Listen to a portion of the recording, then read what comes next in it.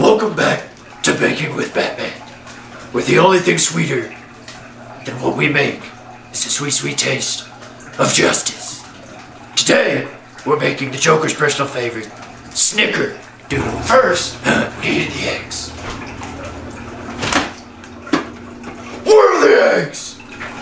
Now we'll crack the eggs, like I crack one of the Riddler's codes.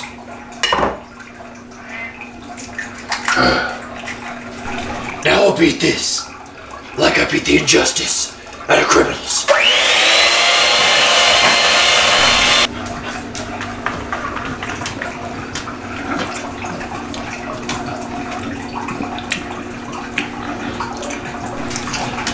This one's for Alfred.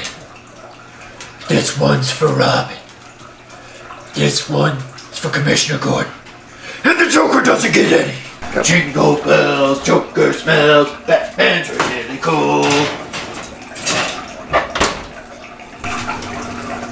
Feels like Mr. Freeze got to the clock. Longest eight minutes of my life.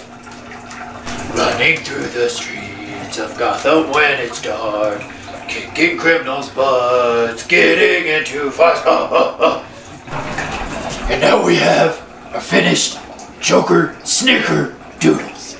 Have a very Merry Christmas from all of us. And wait, I mean, the Bat Cave.